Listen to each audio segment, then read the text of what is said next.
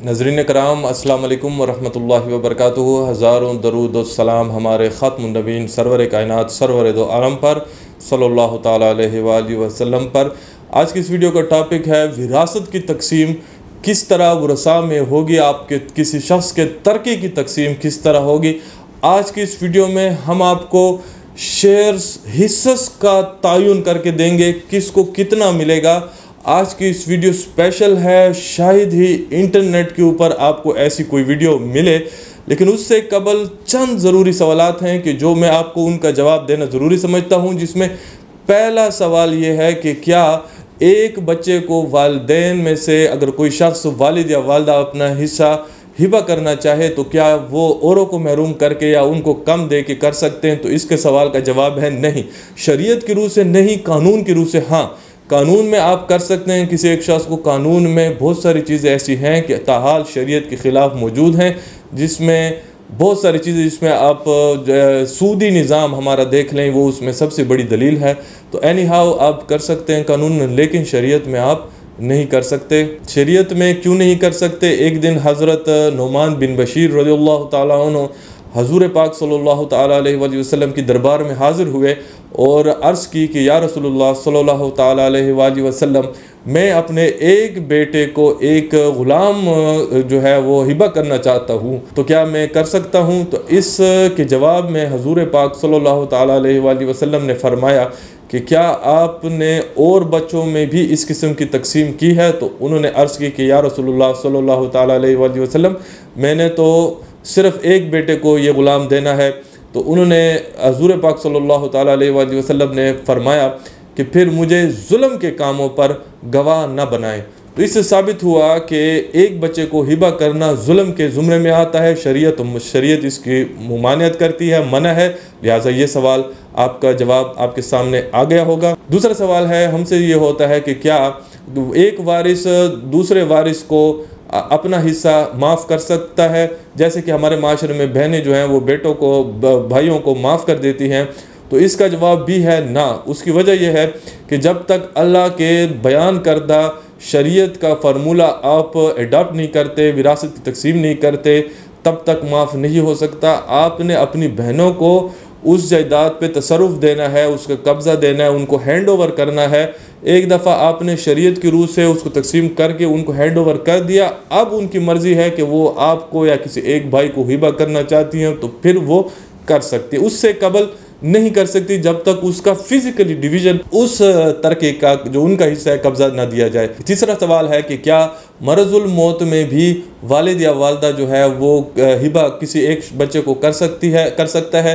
तो इसका जवाब भी है ना। जिस मर्ज़ में, जिस मर्ज़ की वजह से आपके वालिद या वालदा का इंतकाल होता है, उस मर्ज़ में जब वो मुबतला होती हैं या होता है तो ऐसी सूरत में वो जो भी हिबा किसी एक औलाद को करती हैं तो अजरू शरीयत जो है, वो मना है, क्योंकि उस वक्त शरीयत ये गुमान और तस्वुर करती है कि आप अपने अल्लाह के जो वंड या हिस्स शरीयत के रूप से विरासत के हैं, उसको ख़त्म करना चाहते हैं, जिसकी इजाज़त नहीं है। चौथा सवाल ये है कि क्या औलाद में से कोई अपने वालिद या वालदा से उसका अपना हिस्सा जो वो समझता है कि विरासत में कल को मुझे मिलेगा, क्या वो उसकी हयात में उनसे मांग सकते हैं? तो इसका जवाब भी है ना। आप नहीं मांग सकते, विरासत का तस्वर इंसान की फौत होने के बाद पैदा होता है। पांचवा सवाल यह है कि विरासत की तकसीम किस फ़िके से होगी? मिसाल के तौर पर मरने वाला जो वालिद है या वालदा है, वो अहल सुन्नत से ताल्लुक़ रखते हैं, बच्चे जो है अहल तशैय से ताल्लुक़ रखते हैं। तो क्या अहल सुन्नत की उससे उसकी विरासत की तकसीम होगी? अहल तशैय के कानून के मुताबिक उसकी विरासत की तकसीम होगी। तो याद रखें, जो फोत हो रहा है, वो जिस फ़िक्के पे से ताल्लुक़ रखता है चाहे वह अल सुनत है या वह तशैय से ताल्लुक़ रखता है, तकसीम उसके अपने फ़िक्के के मुताबिक होगी, न कि जिनको विरासत मिल रही है। अलबत् इसमें दो चीज़ें हैं कि अगर बिलफ़र्ज़ उसकी औलाद जो है वो कुफर में दाखिल होती है तो ऐसी सूरत में ऐसी औलाद जो है वो तरक के हकदार नहीं है, विरासत के हकदार नहीं है, विरासत से महरूम होते हैं, या ऐसी औलाद के जो अपने वालिद या वालदा जिसकी तरक़े की तकसीम होगी, जिसकी विरासत की तकसीम होगी वो उसको कत्ल करते हैं तो ऐसी सूरत में भी वो विरासत से महरूम होते हैं। फिर आखिरी सवाल ये है, उससे कबल के मैं फिर हिस्स की तरफ़ जाऊँ। आखिरी सवाल ये है कि क्या बाप या वालदा अपनी हयात में एक औलाद को दूसरे औलाद से ज़्यादा हिस्सा हिबा कर सकती है या नहीं? तो शरीयत में इसकी ममानियत है, जिस तरह मैंने पहले भी कहा, आप नहीं कर सकते। लेकिन इसमें तीन जगह ऐसे हैं कि जहाँ पे आप कर सकते हैं। वो ये है कि अगर आपका एक बेटा माली लिहाज से कमज़ोर है और दूसरा माली लिहाज से मुस्तकम है तो आप जो माली लिहाज से कमज़ोर है, उसको कुछ ज़्यादा हिबा कर सकते हैं। उसके मुताबिक ताकि कल को दोनों एक बराबर हो। अच्छा फिर इसके अलावा एक और सूरत ये भी है कि अगर बिलफ़र्ज़ जो जिसको आप ज़्यादा करना चाहते हैं हिबा तो वो नेक है, परहेजगार है, आपकी मानता है, और जो दूसरा है जिसको आप नहीं हिबा करना चाहते, वो जो है, वो गुनहगार शख्स है अम, अम, अमाल उसके अच्छे नहीं हैं वो जुआरी है शराबी है मुख्तलिफ़ उसमें वो हैं गलत काम वो करता है तो ऐसी सूरत में आपको ख़दशा है कि अगर आप उसको, ये जायदाद आपकी वफ़ात के बाद रह जाती है और उसको मिलती है तो वो उसको क्या गलत इस्तेमाल करेंगे? तो इस गलत इस्तेमाल से उसको रोकने के लिए आप जो नेक है, उसको दे सकते हैं। फिर एक तीसरी सूरत हाल ये है कि अगर आप तमाम बच्चों को अपने साथ बिठा के उनको इस बात पर राज़ी करें कि जो मेरे वफ़ात के बाद जो भी हिस्सा बनता है आपका शरी, मैं आज आपको वही हिस्सा देना चाहता हूँ और वो उस पर राज़ी हो जाएँ तो फिर आप उनको दे सकते हैं। लेकिन अगर बिलफ़र्ज़ वो राज़ी नहीं होते तो हयात में तस्वूर ये है कि अगर आप ज़िंदा हैं और आपने बच्चों को आहिबा करना चाहते हैं तो बेटी का भी एक हिस्सा और बेटे का भी एक हिस्सा, बेटे का डबल हिस्सा नहीं बनता। तमाम के हिस्से बराबर हैं। अब ये था कुछ चंद अहम ज़रूरी सवाल आपको बताना ज़रूरी था। इसके बाद अब हम हिस्स की तयन की तरफ़ आते हैं। हिस्स की तयन के लिए सबसे पहले जो मिसाल हम लेंगे, वो ये है कि अगर बिलफ़र्ज़ एक शख्स जो फोत होता है, उसकी विरासत में, उसके तरके में जो जायदाद है या पैसे हैं, उसकी विरासत में एक वारिस उसकी बीवी है या एक से जायद बीवियाँ हैं। और उसकी विरासत में बेटे हैं, एक या एक से ज़्यादा बेटे हैं और एक या एक से ज़्यादा बेटियाँ हैं। यानी सिर्फ़ बीवी, बेटे और बेटियाँ हैं। तो ऐसी सूरत में जो इसका तरका होगा, उसको तकसीम करने के लिए सबसे पहले काम होगा, कुल तरके से एक बटा आठ जो है उसकी बीवी या बीवियों के लिए निकाला जाएगा।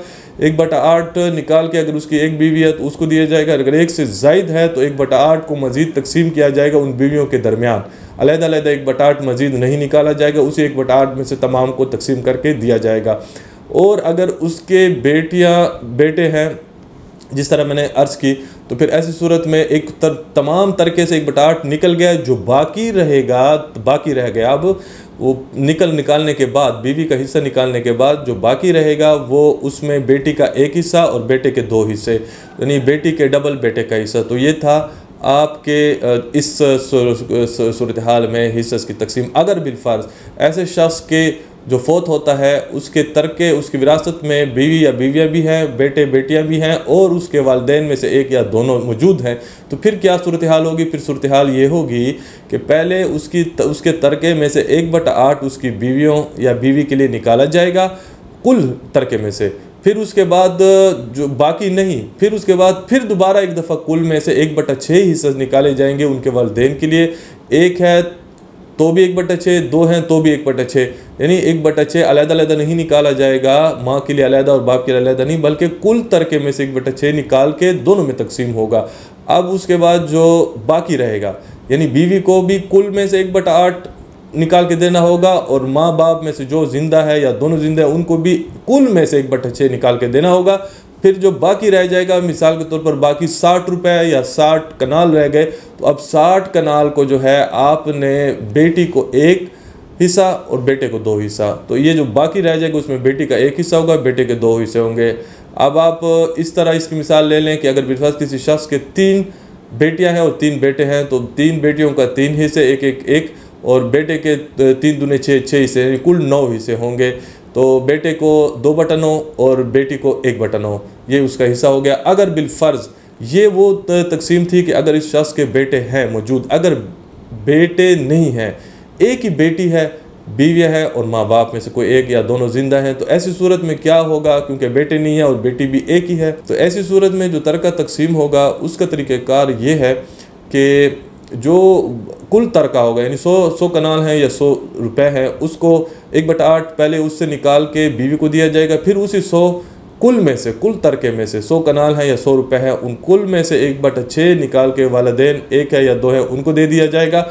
जो बाकी रह जाएँगे, मिसाल के तौर पर साठ कनाल या साठ रुपए रह गए, अब उसको में से जो एक बेटी है चूँकि बेटा नहीं है तो अब उसको आधा मिलेगा, एक बटा दो मिलेगा, यानी साठ में से तीस मिल जाएँगे और तीस जो कनाल या तीस रुपए जो रह जाएँगे, वो बाकी दोबारा वालदेन को चले जाएँगे। तो मकसद ये है कि वालदेन जो है, या वालिद या वालदा में से एक है, या दोनों ज़िंदा हैं, वो दो दफ़ा लेंगे, एक दफ़ा पहले कुल तरके में से एक बटा छः फिर जो बाकी रहेगा, उसका भी आधा हिस्सा ले जाएँगे। लेकिन अगर बिलफ़र्ज़ बेटियाँ हैं लेकिन बेटी नहीं है, लेकिन बेटी भी एक से जायद है। तो अब सूरत हाल ज़रा डिफरेंट होगी। अब सूरत हाल भी आसान है। कुल तर का सौ कनाल या सौ रुपये में से एक बटा आठ बीवी को या बीवियाँ को निकाल के दे दिया जाएगा। उनकी जो बेवाएँ हैं, उसके बाद एक बटा छः जो होगा, वो भी कुल तर के सौ रुपये में से या सौ कनाल में से निकाला जाएगा। वो वालदेन या वालिद, वालदा को दे दिया जाएगा। जो बाकी रह जाएँगे, मिसाल के तौर पर साठ रुपये रह गए। अब उसमें से दो बटा तीन जो होगा, साठ रुपए में से बाकी मानदा में से कुल में से नहीं, उस साठ में से दो बटा तीन हिस्सा जो होगा, वो बेटियों को मिल जाएगा। यानी साठ में से चालीस कनाल बेटियों को मिल जाएँगे, जो बाकी बीस कनाल रह जाएँगे, यानी एक बटा तीन, दो बटा तीन बेटियों को मिल गया, एक बटा तीन जो है, वो दोबारा जो है वालदेन को मिल जाएगा। तो ये थी सिंप्लीफाइड फान जो तकरीबन हमारे माशरे में 98-99 परसेंट केसेस में यही होती है। आप इस वीडियो को रुक रुक के, लिख के, अपना जो शेयर्स है, उसको निकाल सकते हैं। उम्मीद रखता हूँ कि ये वीडियो इंटरनेट के ऊपर पहली वीडियो होगी। शायद हो, मैं भी, लेकिन मैं उम्मीद रखता हूँ कि उम्मीद ये वीडियो इस अपनी यूथ की पहली वीडियो होगी, कि जिसमें हमने चंद ज़रूरी सवाल और उसके बाद हिस्स की तकसीम आपको बताई है। अगर आपको ये वीडियो पसंद आई है तो अपने जैसे और दोस्तों के साथ ज़रूर शेयर करें। इलम के फैलाने में अपना किरदार ज़रूर अदा करें। और आप हमारे चैनल पर नए हैं तो नीचे दिए गए सुरख बटन को ज़रूर प्रेस करें। चैनल को सब्सक्राइब करें। आज के लिए इतना ही। इजाज़ चाहते हैं। अल्लाह हाफिज़। पाकिस्तान, जिंदाबाद।